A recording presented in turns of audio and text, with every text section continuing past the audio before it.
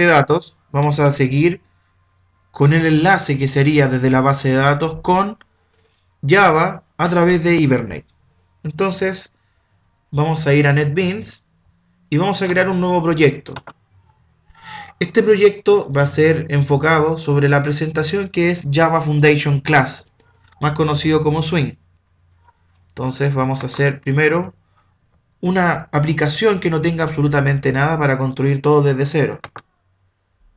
Que sería un Java Class Library, que solamente tiene el nombre de la solución y del proyecto, pero no tiene ningún package implementado con ninguna clase agregada. Entonces vamos a decir que este es presolemne 01 como nombre de proyecto.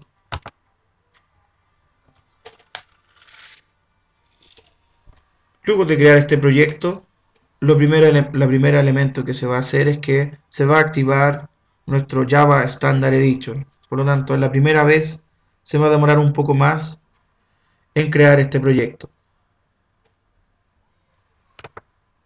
Entonces, vamos a dejar acá nuestro proyecto y si se fijan, vamos a tener un source package pero que no tiene absolutamente nada. Y la librería la única que tiene es el JDK. Entonces vamos a crear nuestro primer elemento que sería la conexión con Hibernate. Entonces vamos a ir a nuevo, otro, y se elegirá dentro de los elementos que tenemos instalados, que esto es de acuerdo a la instalación full que tengan de NetBeans, entonces colocamos a nuestro Hibernate.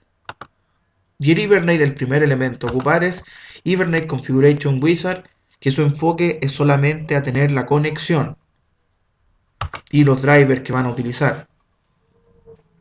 Entonces, vamos a dejar el mismo nombre, para seguir con la misma coherencia, le damos Next.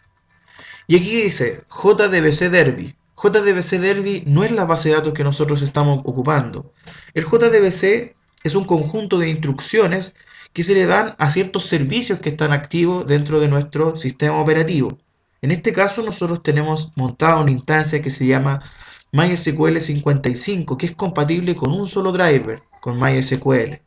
Entonces, Vamos a ocupar el MySQL Connector, que es el que al final lo utilizaremos para poder conectarnos a la base de datos y recoger la información de ella. Entonces ponemos New Database Connection. Ya Database Connection, elegimos el driver y el driver es MySQL Connector. Luego le damos Next y aquí la configuración es la misma. El host localhost hace mención a la dirección inversa de IP 127.0.0.1 que es la que estamos ocupando nosotros, si estamos en una máquina local. En caso contrario, tienen que colocar la dirección de dominio IP. El puerto es el puerto por defecto 3306, es donde está montada esta base de datos. Y la base de datos no se llama así, se llama BD presolemne, que es lo que nosotros creamos anteriormente. Colocamos el password, que es el que viene de la instalación de MySQL, le decimos recordar, Aquí hay elementos que vienen por defecto. Dejemos solamente que está accediendo a nuestro localhost y como MySQL guarda las bases de datos como carpetas, entonces estamos en la carpeta BD presolemne. Hacemos test connection y si esto funciona bien, debería decir connection succeed luego de probar la conexión.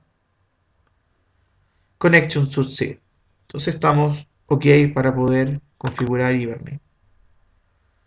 Luego, el esquema, esto será utilizado si es que tienen alguna otra base de datos que utilice diferentes separaciones de sus, bases de datos de acuerdo al driver que se utilice.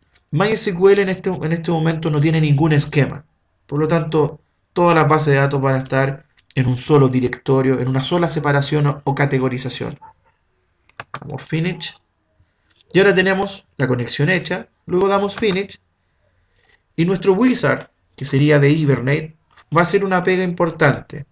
Lo que va a decir es cómo se va a conectar MySQL, qué clases van a atender MySQL y